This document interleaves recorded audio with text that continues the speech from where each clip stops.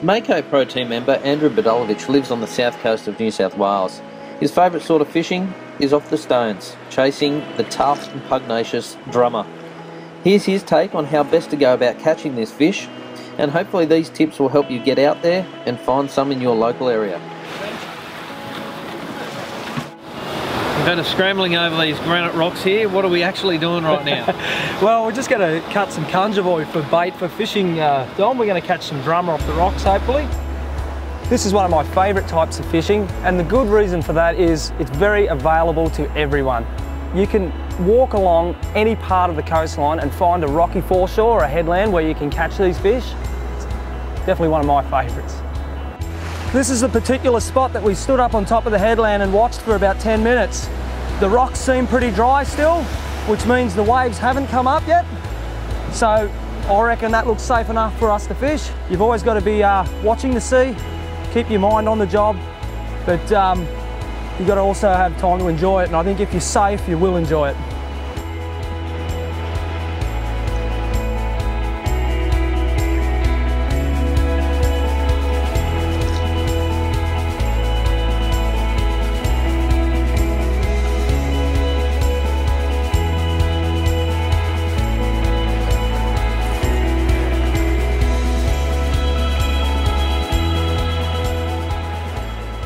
The is definitely starting to work.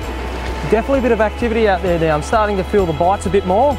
Uh, when we first started, there was tiny little bites from tiny little fish. I'm starting to feel a few more solid bites and typical of a drummer, that thud, thud, thud.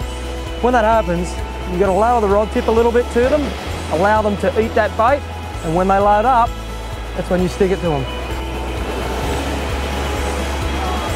Oh, it's a piglet.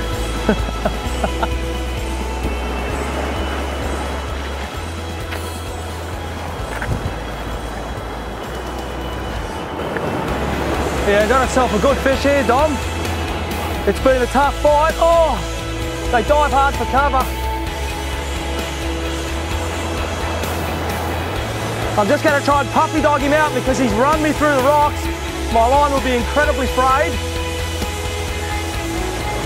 Oh, he's a nice pig, mate. He's a beauty. So if Dom, if you can just go down, when I get that surge, just try and slide the fish up onto the rocks, but try not to grab the line. He's spent, so he's all yours. Just slide him, keep him on the rocks, don't lift him, and just slide him all the way up over to your, in that crevice there, mate. If you can get him in that crevice, we're safe. Whoa! Oh, he's still got a bit of kick in him. That's a, uh, that's a uh, Eastern Rock Blackfish Dom. Beautiful one. Uh, black drummer or a pig.